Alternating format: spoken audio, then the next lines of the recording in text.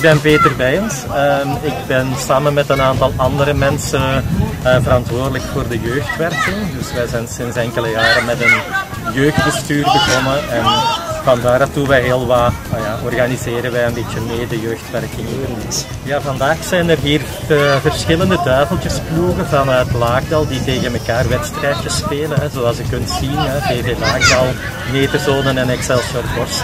Uh, de U7, U8 en U9 die uh, met elkaar op een woensdagavond wat wedstrijdjes spelen natuurlijk in deze, in deze tijden waar het alsmaar moeilijker wordt om uh, volledige jeugdploegen te vinden en samen te stellen, is samenwerking natuurlijk altijd interessant. Hè. Uh, er zijn sowieso, hoor ik al, clubs die van bepaalde ehm, jeugdreeksen geen ploeg meer kunnen inrichten.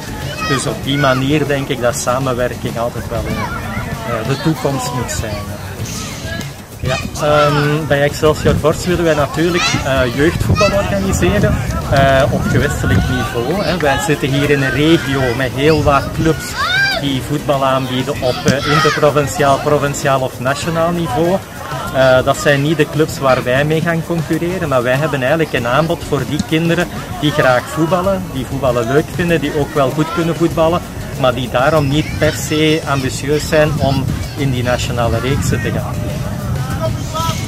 Ja, um, als, als jeugdwerking van een voetbalclub vinden wij het sowieso belangrijk om ook uh, mensen um, te informeren dat voetbal meer is dan alleen maar een beetje tegen een bal uh, stampen. Maar dat we toch ook de kinderen uh, een aanbod willen doen naar het leren samenwerken, leren samenspelen, ontspanning op een gezonde manier, maar ook leren om elkaar te accepteren, samen te werken en zo verder wat sociale vaardigheden aan. aan.